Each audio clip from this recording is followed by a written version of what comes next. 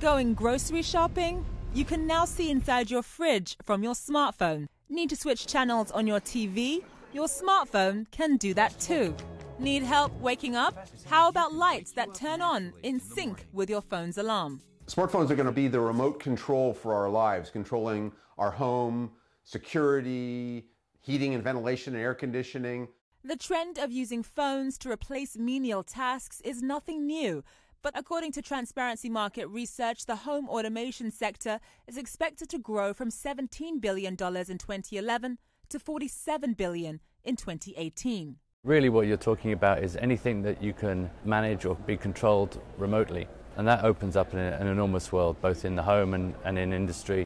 At home, companies like Savant Systems are allowing us to control our living rooms simply by tapping a touchscreen photograph. I can basically just touch the light in the picture and it goes off in the room and off in the picture. And startups like Viper have developed apps to remote control your car. Okay, so check this out. If I want to start my engine using my smartphone, all I have to do is download the Viper app, tap on this button right here where it says Smart Start, and the engine starts. But none of this is cheap. Viper's technology retails at $300, while a smart fridge costs over $3,000.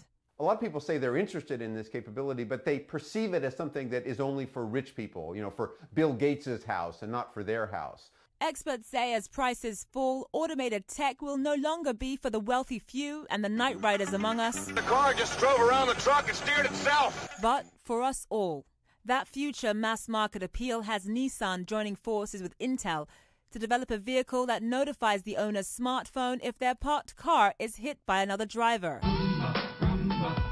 Meanwhile, iRobot makes robotic cleaners that can wash floors and clean carpets. Remind you of anything? Just cleaning the rug, ma'am. But the Jetsons didn't have a smartphone to control theirs. Samsung is calling its Galaxy S4 phone a life companion. Perhaps we're not that far off from needing anything else to get by. Zain Asher, CNN, New York.